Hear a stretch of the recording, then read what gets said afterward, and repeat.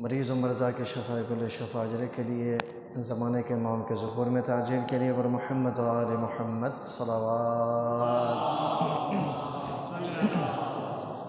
صلی محمد آل محمد و جل فرجهم رب اشرح لي صدري ويسر لي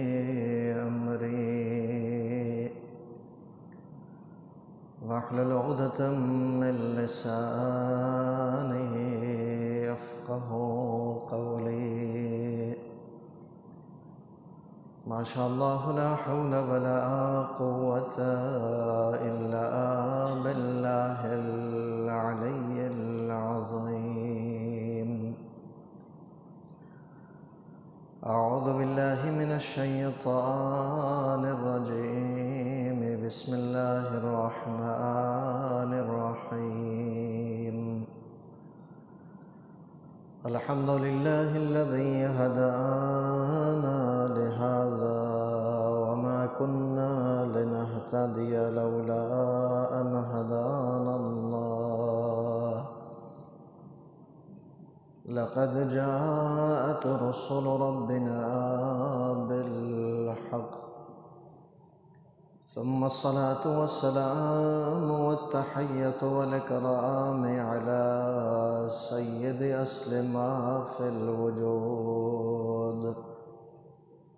سر الله في كل موجود نكتة دائرة الوجود الخاتم لمن سبق. والفاتح لمن غلب معلن الحق بالحق بالقاسم مصطفى محمد.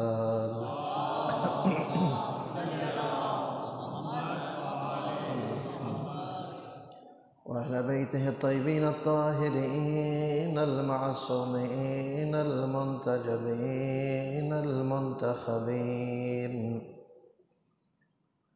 ولعنة الله على أعدائهم أجمعين أما بعد فقد قال الله تبارك وتعالى في محكم كتابه. وهو أصدق القائلين وقوله الأحسن.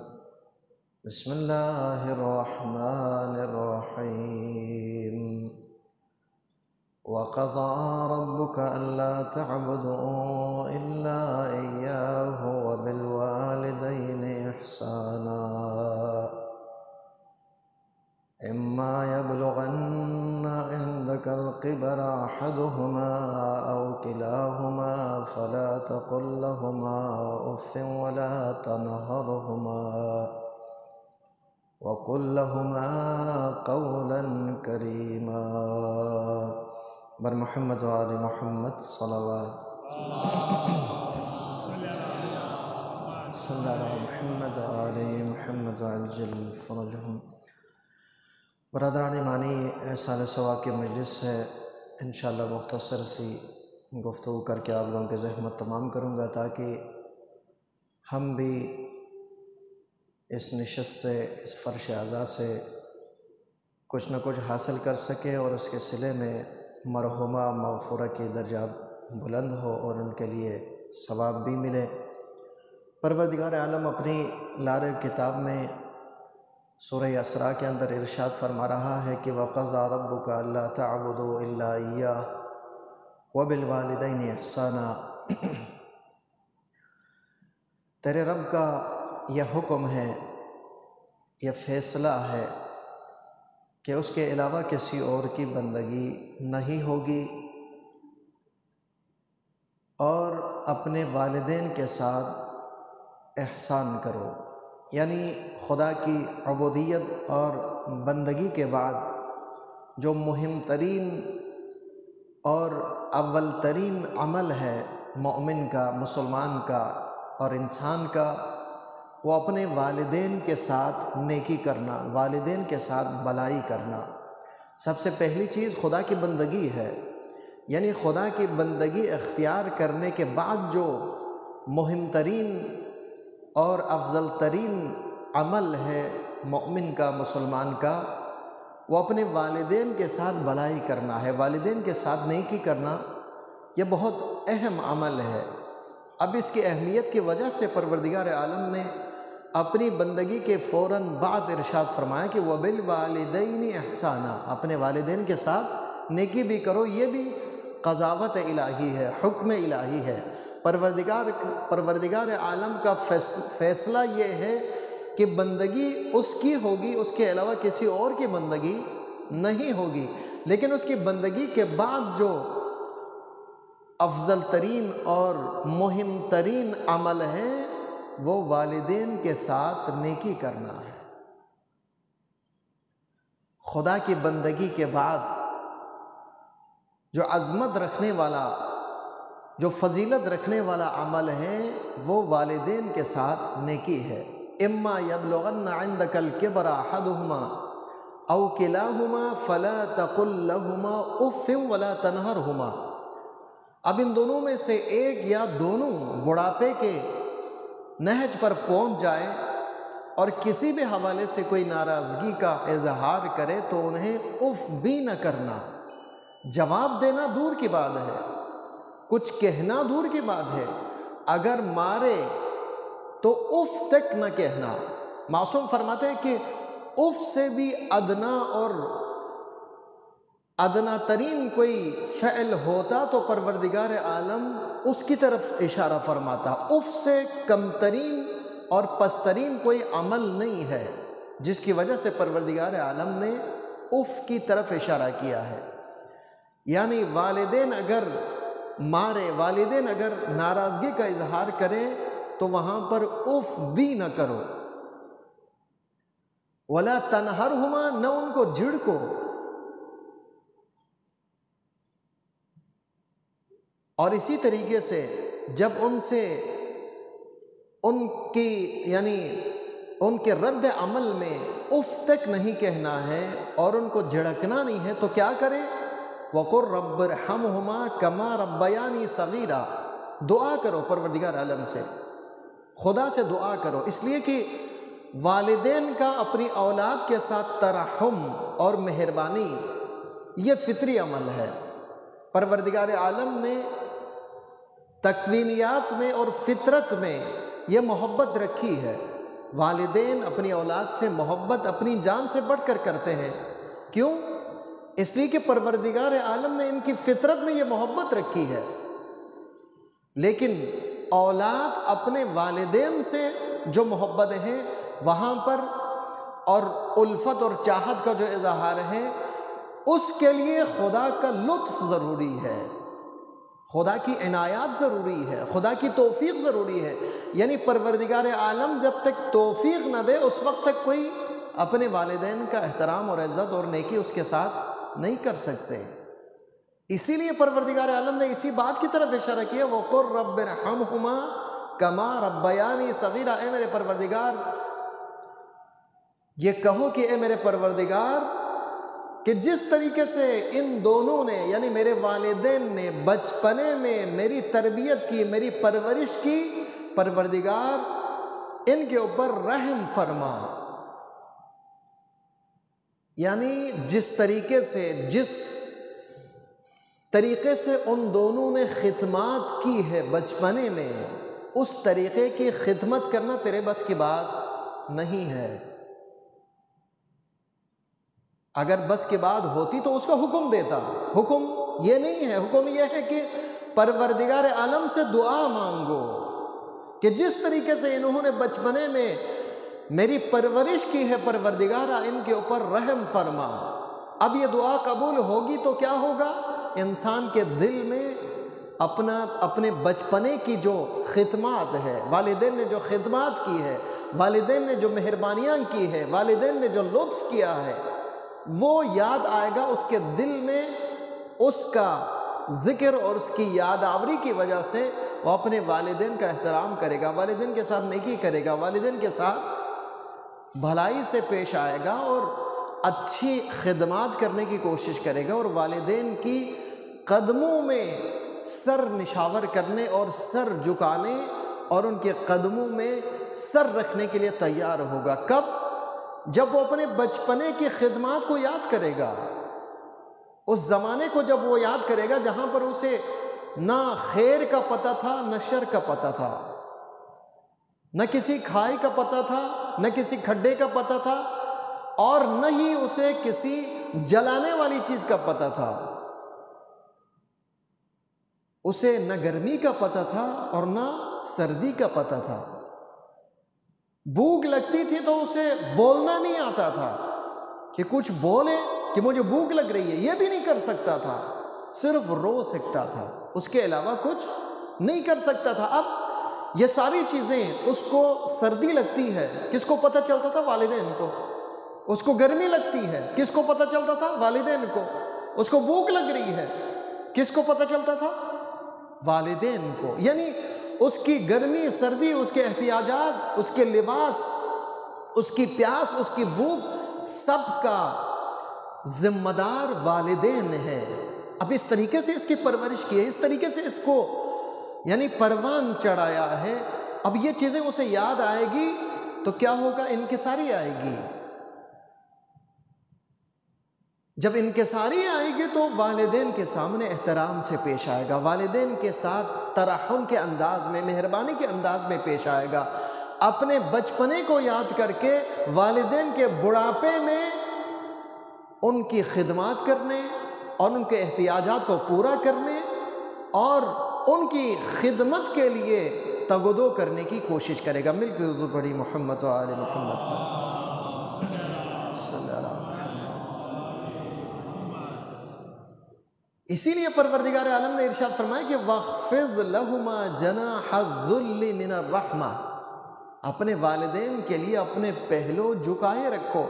انکساری کے ساتھ پیش آؤ۔ صرف انکساری نہیں، بلکہ ترحم کے ساتھ انکساری ایک ہوتی ہے انکساری ایک دوسری چیز یہ کہ انکساری کے ساتھ ساتھ مہربانی بھی ہو۔ صرف انکساری کر کے سر جھکا کر رکھے، ایسا نہیں ہے، بلکہ مہربانی کے تقاضوں کو بھی پورا کرے۔ صرف پہلو جھکائے رکھنا، یہ صرف یہ ذمہ داری نہیں ہے، بلکہ دل کے اندر ترحم بھی پیدا کرو۔ رحم اور مہربانی کے ساتھ اپنے والدین کے سامنے پہلو جھکائے رکھو۔ اب ان ساری چیزوں کا فائدہ کیا ہوگا؟ فائدہ ایسا نہیں ہے کہ ہم اپنے والدین کے ساتھ نیکی کریں گے تو نعوذ باللہ خدا کی خدایت میں اضافہ ہوگی۔ نہیں۔ ہم اپنے والدین کے ساتھ نیکی کریں گے تو پروردگار عالم کی حکمرانی میں اضافہ ہوگی۔ نہیں۔ پروردگار عالم بے نیاز ہے۔ اب اس کی طرف اس کو واضح کرنے کے لیے پیغمبر ختمی مرتبہ حضرت محمد مصطفیٰ صلی اللہ علیہ وآلہ وسلم یہ ارشاد فرماتے ہوئے نظر آتے ہیں کہ بر الوالدین یزید فی العمر۔ والدین کے ساتھ نیکی کرنا عمر میں اضافے کا سبب ہے۔ یعنی اگر کوئی چاہتا ہے کہ اس کی عمر میں اضافہ ہو تو وہ اپنے والدین کے ساتھ نیکی کرے۔ فائدہ کس کو ہوا؟ خود ہمیں ہوا۔ والدین کے ساتھ نیکی کرنے کا فائدہ نہ اسلام کو ہے، نہ دین کو ہے، نہ خدا کو ہے۔ نہ رسول کو ہے، فائدہ خود ہمیں ہے، رسول فرما رہے ہیں۔ جو کوئی اپنے والدین کے ساتھ نیکی کرے گا، اس کی عمر میں اضافہ ہوگا۔ اور اسی طریقے سے دوسری حدیث کے اندر ارشاد فرماتے ہیں کہ رضا اور رب بھی فی رضا الوالدین۔ پروردگار عالم کے رضایت والدین کے رضایت کے اندر ہے۔ کس کو ہوا فائدہ؟ یعنی جس کے اوپر والدین راضی ہیں، اسی کے اوپر خدا بھی راضی ہے۔ اور جس کے اوپر والدین ناراض ہیں، اس کے اوپر خدا بھی ناراض ہے۔ جس کے اوپر خدا ناراض ہوگا، کیا اس کی نماز کا کوئی فائدہ ہوگا؟ ہرگز نہیں ہوگا۔ اس کے روزے کا کوئی فائدہ ہوگا؟ ہرگز نہیں ہوگا۔ اس کی بندگی کا کوئی فائدہ ہوگا؟ ہرگز نہیں ہوگا۔ پہلے خدا کو راضی کرنا ہوگا، اس کے بعد نماز پڑھنی ہوگی۔ پہلے خدا کو راضی کرنا ہوگا، اس کے بعد بندگی اختیار کرنی ہوگی۔ مل کر درود پڑی محمد و آل محمد۔ صلی اللہ محمد و آل محمد۔ تو لہٰذا عزیزان گرامی، والدین کے ساتھ نیکی کرنے کا فائدہ خود ہمیں ہے۔ خدا کی رضایت ہمیں مل جاتی ہے۔ کب؟ جب والدین کو راضی کریں گے۔ والدین راضی ہوں گے تو خدا راضی ہوگا۔ والدین خوش ہوں گے تو خدا خوش خوش ہوگا۔ والدین کی رضایت کے ساتھ نماز پڑھیں گے تو نماز قبول ہوگی۔ والدین کی رضایت کے ساتھ روزہ رکھیں گے تو اس کا روزہ قبول ہوگا۔ والدین کی رضایت کے ساتھ اگر کوئی انسان نیکی کرے گا تو اس کی نیکی کی کوئی قیمت ہوگی۔ اس کے برعکس اگر وہ نیکی پر نیکی کرتا چلا جائے، اس کے والدین اس پر ناراض ہو، تو اس کا مطلب یہ ہے کہ خدا بھی اس پر ناراض ہے اور جس پر خدا ناراض ہے وہ اس کے، اس کا کسی فعل کا پروردگار عالم اجر ہرگز نہیں دے گا۔ اور اسی طریقے سے میرے اور آپ کے چھٹے سرکار امام جعفر صادق علیہ السلام والسلام۔ یہ ارشاد فرماتے ہوئے نظر آتے ہیں کہ برو آباءکم یبرکم ابناؤکم، اپنے والدین کے ساتھ نیکی کرو تاکہ تمہاری اولاد تمہارے ساتھ نیکی کرے۔ جیسا کرو گے ویسا بھرو گے یعنی اگر اپنے والدین کے ساتھ ہم نیکی کریں گے تو ہماری اولاد ہمارے ساتھ معصوم یہ فرما رہا ہے کہ اگر تم نیکی کر چکے ہوں گے تو تمہارے لیے نیکی ملے گی۔ تم زندگی بھر والدین کو ستاتے رہے تم زندگی بھر والدین کی احنت کرتے رہے تم والدین کی نافرمانی میں زندگی گزارتے رہے اس کے بعد اپنی اولاد سے توقع رکھیں کہ تمہاری اولاد تمہاری فرمان بردار ہو، تمہاری اولاد تمہاری اطاعت کرے، تمہاری اولاد تمہارا کہنا مانے، یہ ہرگز نہیں ہوگا۔ جیسا تم کرو گے، ویسا تمہیں ملنے والا ہے۔ تو لہٰذا جیسا تم چاہتے ہو کہ تمہاری اولاد تمہاری فرمان برداری کرے ویسے ہی اپنے والدین کی فرمان برداری میں زندگی گزارو۔ جیسا تم چاہتے ہو کہ تمہاری اولاد تمہاری اطاعت کرے، اپنے والدین کی اطاعت کرو۔ جیسا تم چاہتے ہو کہ تمہاری اولاد تمہارے لیے، تمہارے بڑھاپے میں تمہارے لیے مددگار بنے، ویسے ہی اپنے والدین کے لیے ان کے بڑھاپے میں مددگار بنو، مل کے ضرور بڑی محمد و آل محمد۔ صلی اللہ محمد و آل تو لہٰذا عزیزان گرامی خوش قسمت ہیں وہ لوگ جن کے پاس والدین موجود ہیں اور والدین کی اطاعت کرتے ہیں اور والدین کی خدمت کرتے ہیں، والدین کا کہنا مانتے ہیں، والدین کی کے اوپر مہربانی کرتے ہیں۔ ان لوگوں سے پوچھئے جن کے سر سے والدین کا سایہ اٹھ چکے ہیں۔ جن کے ہر امور کے پیچھے، جن کے والدین کے دعائیں ہوتی تھی، وہ دعائیں ختم ہو گئی ہیں، ان سے پوچھئے۔ والد کا سایہ کافی ہے، والدہ کی دعائیں کافی ہے۔ جو لذت زندگی کے اندر والدین کے ہمراہ والدین کی ہمراہی میں جو زندگی ہوتی ہے، اس کے اندر جو لذت ہیں ان کے سایہ اٹھنے کے بعد وہ لذت ہمیں ہرگز نصیب نہیں ہوگی۔ تو لہٰذا کوشش کیجیے۔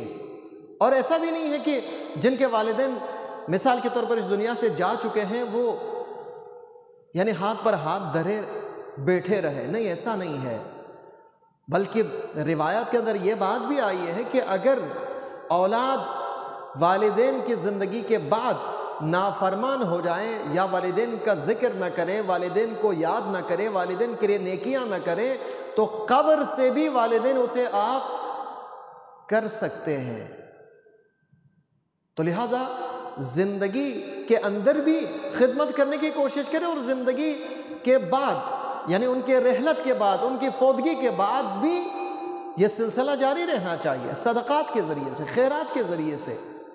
پانچ دس روپے ان کے نام پر کسی کو دے دے، کسی فقیر کو دے، کسی مسکین کو دے، تو کیا ہے؟ والدین کو یاد رکھنے کا طریقہ ہے۔ مجلس ہو رہی ہے۔ والدہ کے احسال ثواب کے لیے، مرحومہ کے احسال ثواب کے لیے یہ کیا ہے؟ والدہ کو یاد رکھنے کا طریقہ ہے۔ اور اسی طریقے سے کسی فقیر کو، کسی مسکین کو، کسی محتاج کو لباس پہنا رہا ہے۔ والدین کی طرف سے زیارت کر رہا ہے، والدین کی طرف سے، حج کر رہا ہے، والدین کی طرف سے۔ عبادات انجام دے رہے والدین کی طرف سے۔ والدین کی قضا نمازیں پڑھوائی جا رہی ہے یہ کیا ہے؟ خدمات ہے۔ ان کی زندگی کے بعد بھی یہ خدمات کر سکتے ہیں۔ ایسا نہیں ہے زندگی کے بعد، ان کی رحلت کے بعد دروازے بند ہو گئے، نہیں۔ اسی لیے روایات میں یہ بات آئی ہے کہ اولاد، جو صالح اولاد ہیں، وہ استمراری مستمر رہنے والی نیکی کی مانند ہے۔ جتنی نیکیاں وہ انجام دیتی ہے یہ اولاد، اس کا سلا ان کے ماں باپ کے نام اعمال میں بھی ثواب لکھے جائیں گے۔ یہ کیا ہے؟ سلسلہ ہے۔ طریقہ ہے۔ والدین کو یاد کرنے کا، والدین کی خدمت کرنے کا، والدین کی کے اوپر شفقت کرنے کا طریقہ ہے۔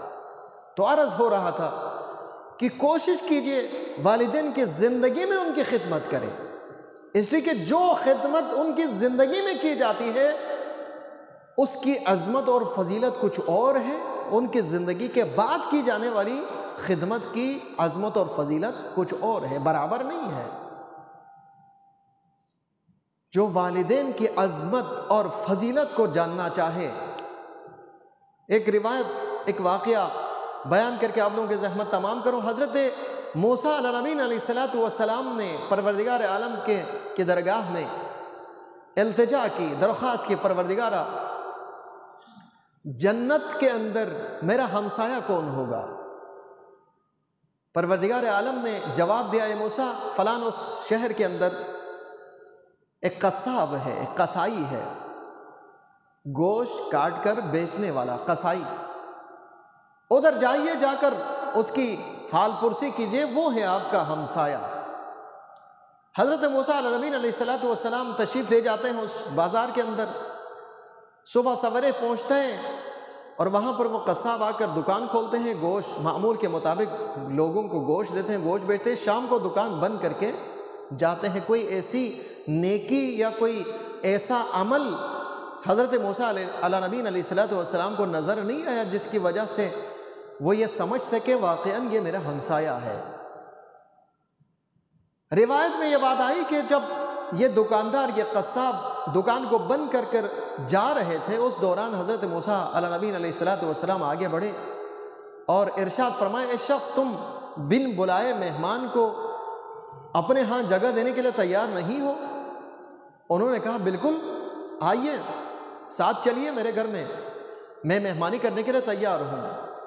واقعہ یہ بتا رہا ہے کہ واقعہ سے اندازہ ہو رہا ہے کہ حضرت موسیٰ علیہ نبی علیہ السلام کو وہ بندہ نہیں جانتے تھے، پہچانتے نہیں تھے۔ باہر المختصر کرتے ہوئے عرض کروں کہ وہ جاتے ہیں ان کے ساتھ گھر میں۔ کھانا تیار کرتے ہیں۔ کھانا تیار کرنے کے بعد ایک ٹوکری سی ایک چیز چھت پہ لٹکی ہوئی تھی، اس کو وہ اتارتے ہیں۔ قصاب اس کو اتارتے ہیں۔ اتارنے کے بعد ایک لاغر، ایک کمزور ایک خاتون ہے اس کو وہاں سے نکالتے ہیں اور نکال کر ان کے ہاتھوں کو دھوتے ہیں، دھو کر انہیں اپنے ہاتھوں سے ان کے منہ میں نوالا رکھتے ہیں۔ جیسے جیسے وہ نوالا رکھتے جاتے ہیں، اس کے حساب سے اس کی، اس خاتون کی زبان ہلتی ہے۔ مطلب سمجھ میں نہیں آتی کیا کہہ رہی ہے، لیکن زبان ہلتی، اتنی لاغر اتنا کمزور ہے لیکن کیا کہہ رہی ہے، یہ سمجھ میں نہیں آتی۔ مختصر الکلام کی وہ کھانا کھلانے کے بعد دوبارہ اسی ٹوکری کے اندر ڈال کر چھت پہ لٹکاتے ہیں اور اس کے بعد وہ صبح ہو کر مہمان کی خدمت کر کے مہمان کو ساتھ لے کر دکان کی طرف چلے جاتے ہیں۔ اب سوال کرتے ہیں حضرت موسیٰ نبین علیہ السلاۃ والسلام، اے شخص مجھے یہ بتاؤ کہ اس ٹوکری کے اندر یہ خاتون کون ہے؟ انہوں نے کہا یہ میری والدہ ہے۔ میں اور میری والدہ اس گھر میں رہتے ہیں، ہم دو ہی ہے میں جب دکان پہ چلا جاتا ہوں تو میں اپنی والدہ کو اس ٹوکری کے اندر ڈال کر چھت پہ لٹکا کے جاتا ہوں تاکہ کوئی جانور اسے نقصان نہ پہنچائے۔ اور والدہ کی حالت حضرت موسیٰ کے سامنے ہے۔ اتنے لاغر ہے اتنے کمزور ہے اب دوسرا سوال حضرت موسیٰ علیہ نبی علیہ السلام، یہ ارشاد فرماتے ہوئے نظر آتے ہیں شخص۔ جب تم اپنے اپنی والدہ کو ان کے منہ میں نوالا ڈال رہے تھے، اس دوران آپ کی والدہ کی زبان ہل رہی تھی۔ کچھ بول رہی تھی۔ میرے سمجھ میں نہیں آئی کہ وہ کیا بول رہی تھی۔ انہوں نے کہا کہ میری والدہ میرے لیے دعا کر رہی تھی۔ کیا دعا کر رہی تھی؟ وہ عرض کرنے لگے، میرے لیے یہ دعا کر رہی تھی، پروردگار عالم تمہارے اوپر خوش ہو اور قیامت کے دن حضرت موسیٰ، اس وقت کا پیغمبر حضرت موسیٰ کے ساتھ تمہارا محشور کرے، ان کے ساتھ جنت الفردوس میں تجھے جگہ عنایت فرمائے۔ ایک دفعہ حضرت موسیٰ علیہ نبی علیہ السلام ارشاد فرماتے ہیں نظر آتے ہیں، ایک شخص تمہاری والدہ کی دعا قبول ہو چکی ہے۔ میں ہوں موسیٰ، اس زمانے کا پیغمبر پروردگار عالم سے میں نے درخواست کی تھی کہ میرا ہمسایہ مجھے دکھائیں، میں تجھے دیکھنے کے لیے یہاں آیا ہوں، مجھے آج پتہ چلا تمہاری خدمت جو تو اپنے والدہ کی کر رہی ہے، اس کے سلے میں پروردگار عالم نے تجھے میرا ہمسایہ قرار دیا۔ مل کے ضرورت پڑی محمد و آل محمد پر۔ صلی اللہ محمد و آل محمد و جل فرج تو لہٰذا عزیزان گرامی، یہ ہے عظمت والدین کی۔ خصوصاً والدہ کی عظمت۔ اب والدہ کا ذکر ہے۔ تو کچھ دقیقہ مصائب کا اس طریقے سے سنیے کہ اگر والدین کے اوپر، بالخصوص والدہ کے اوپر اگر کوئی ظلم کرے، تو ہم برداشت نہیں کریں گے۔ ایک عام انسان کی بات ہو رہی ہے۔ ہمارا جذبہ قابو میں نہیں رہے گا۔ ہم برداشت کرنے کے لیے تیار نہیں ہوں گے۔ لیکن ایک زمانہ ایسا آتا ہے کہ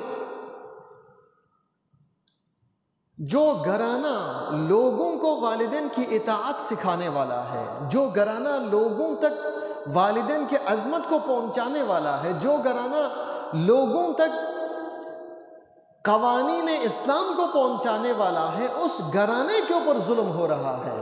انہوں نے کس طریقے سے برداشت کیا ہوگا؟ کس طریقے سے حسن مشتبہ علیہ السلام کے سامنے مادر گرامی کے اوپر ہاتھ اٹھایا گیا؟ حسن مشتبہ علیہ السلام نے کس طریقے سے برداشت کیا ہوگا؟ حسین مزدوم علیہ السلام دیکھ رہے ہوں گے کہ میری مادر گرامی کے اوپر جل، جلتا ہوا دروازہ گرایا جا رہا ہے۔ امام حسین مدوم علیہ السلام کے دل کے اوپر کیا گزرا ہوگا؟ عزیزان گرامی، زینب کبرا سلام اللہ علیہ چھوٹی سی بچی ہے۔ دربار کے اندر جب مادر گرامی کو بلایا گیا، دربار میں جانے پر مجبور کیا گیا ہوگا، اس وقت زینب کبرا سلام اللہ علیہ کے دل پر کیا گزرا ہوگا؟ مختصر الکلام عزیزان گرامی، جلتا ہوا دروازہ جب سیدہ کونین فاطمہ زہرا سلام اللہ علیہ کے اوپر گر جاتا ہے، زہرا مرضیہ دروازے کے پیچھے کھڑی تھی، در و دیوار کے درمیان زہرا مرضیہ آ جاتی ہے۔ تاریخ یہ بتاتی ہے، ان دروازوں کے اندر کیل تھے۔ شاید آپ پرانے دور کے دروازے دیکھیں گے۔ تو دروازوں میں کیل ڈال کر رکھتے تھے تاکہ حفاظت ہو۔ کوئی حملہ کرے یا کوئی جانور، وحشی جانور اگر آئے تو پہلے وہ کیل چبھے اس کے بعد وہ بھاگ جائے۔ اس طریقے سے حفاظتی اقدامات کیا کرتے تھے۔ شاید وہی کیلیں پیوستی دروازے کے اندر تاریخ یہ بتاتی ہے وہ کیلے زہرا مرضیہ کی پسلیوں کے اندر پیوست ہو گئی، پسلیاں ٹوٹ گئی۔ ایک دفعہ آواز دی، یا فضا خزینی، اے فضا مجھے تھا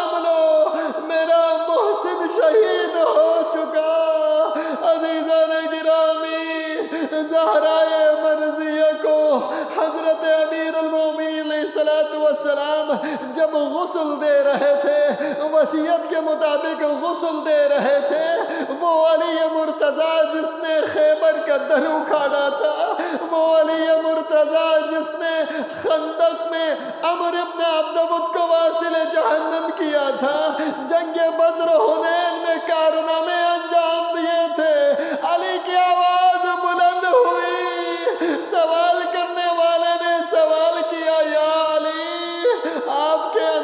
صبر پایا جاتا ہے۔ آپ تو صابر امام ہیں، آپ کی آواز بلند ہوئی۔ ارشاد فرمایا، اے شخص، تو نے انصاف نہیں کیا۔ میری زوجہ متحرہ کی پسلیاں ٹوٹی ہوئی تھی۔ آج تک زہرہ نے مجھے نہیں بتایا تھا۔